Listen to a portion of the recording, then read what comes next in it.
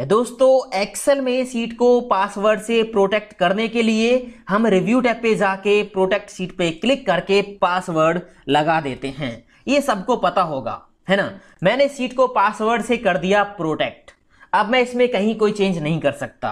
अब मैं अगर इस फ़ाइल को किसी के साथ शेयर करता हूँ और सामने वाला बंदा मेरे से बोलता है कि मुझे इसमें कोई चेंज करना है, आप मेरे को पासवर्ड बता दीजिए। अगर आप उसको पासवर्ड बता दोगे सीट को अनप्रोटेक्ट करने के लिए तो आपका पूरा डाटा अनप्रोटेक्ट हो जाएगा। वो इसमें कहीं भी कोई चेंज कर सकता है। इस वीडियो में मैं आपको कुछ अलग सिखाने वाला हूँ। वो ये कि हम अलग अलग रेंज पे अलग अलग पासवर्ड लगा सकते हैं। अलग अलग रेंज पे, ना कि पूरी सीट पे। हमने जो पासवर्ड अभी लगाया है, वो पूरी सीट के लिए एक ही पासवर्ड है। हम अपने डेटा में अलग अलग रेंज पे अलग अलग पासवर्ड लगा सकते हैं, जो इस वीडियो में मैं आपको सिखाने वाला हूँ। पहले दोस्तों वीडियो को लाइक कर दीजिए और जिन्होंने सब्सक्राइब नहीं किया चैनल को सब्सक्राइब कर लीजिए। मैं हूँ दीपक, आपका दोस्त लेट्स बिगिन दिस टॉपिक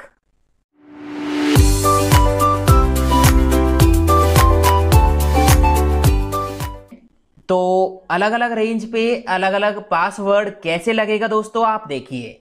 यहाँ से मैंने ये रेंज वन कर ली सिलेक्ट मैं इस रेंज पे एक अलग पासवर्ड लगाऊँगा।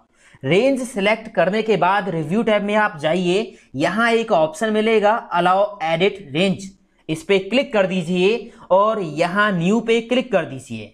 न्यू पे जब आप क्लिक करोगे तो यहाँ आप देखोगे रेंज आपकी ऑटोमेटिक सिलेक्ट हो जाएगी, जो आपने यहाँ से सिलेक्ट की हुई है, और यहाँ इसका आप कोई नेम दे सकते हो, कोई भी नेम दे सकते हो। यहाँ पे रेंज वन लिखा हुआ है, मैं यही रहने देता हूँ।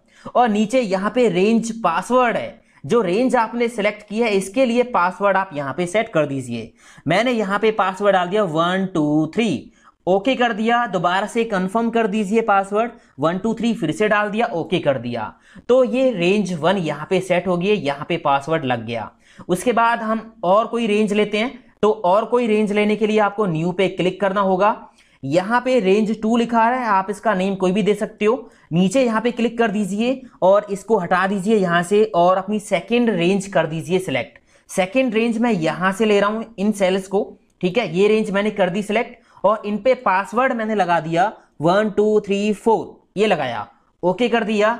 One two three four okay कर दिया। तो दो रेंज यहाँ पे ऐड हो गई। एक और कर लेते हैं तीसरी। तो न्यू पे फिर से क्लिक कर लेंगे। और यहाँ पे रेंज थ्री है, कोई भी नेम हो सकता है। इसमें क्लिक करिए। रेंज के अंदर यहाँ से इसको हटा दीजिए। मान लीजिए इस बार मैंने ले लिया फ़ोन नंबर ये रेंज मैंने लिया है। और इसका पासवर्ड मैंने डाल दिया one two three four five okay कर दिया। कंफर्म कर दिया। One, two, three, four, five. तो इस तरह से जितनी भी रेंज आप सेट करना चाहते हो, इसमें सेट कर लीजिए और इसमें नीचे प्रोटेक्ट शीट का ऑप्शन है, इस पर क्लिक कर दीजिए और फाइनल वाला पासवर्ड आप लगा दीजिए।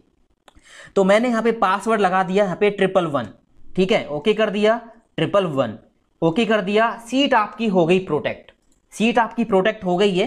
ठीक है? कहीं कोई चेंज नहीं हो सकता। देखिए बट जो रेंज आप अलाउ किए यहाँ से, उनमें चेंज कर सकता है कोई भी बट वो भी तब होगा जब पासवर्ड उसको आप बता दोगे।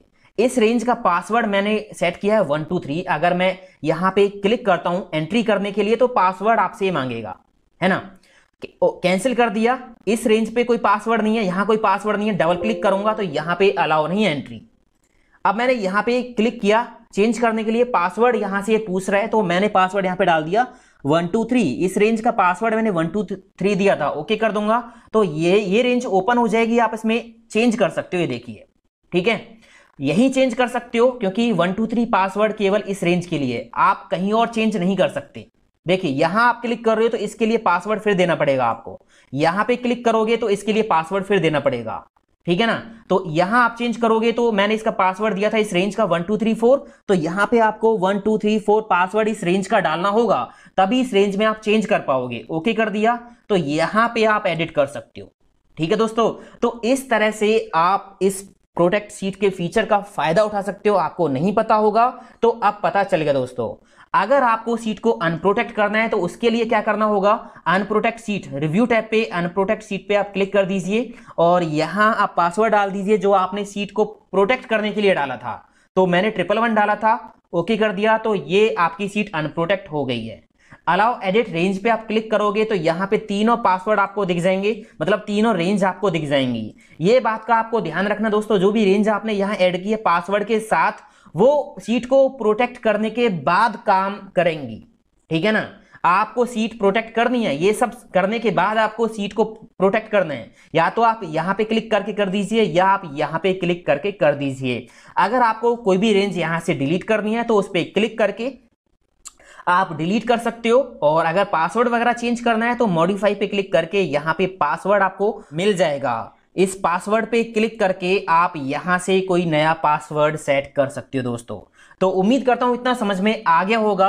काम का फीचर है, आपको ज़रूर पता होना चाहिए। एक बार ट्राई करके देखिए, किसी भी तरह की कोई भी समस्या मेरे साथ शेयर कीजिए। और प्रोटेक्ट सीट और लॉक सेल का अगर वीडियो देखना है तो लिंक डिस्क्रिप्शन में दिया हुआ है, आप उसको देखिए। चैनल को सब्सक्राइब कर लीजिए दोस्तों, अगर आपने अभी तक नहीं किया है लाइक शेयर कॉमेंट करना ना भूलें।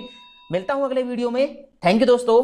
हैव अ नाइस डे जय हिंद। वंदे मातरम टेक केयर।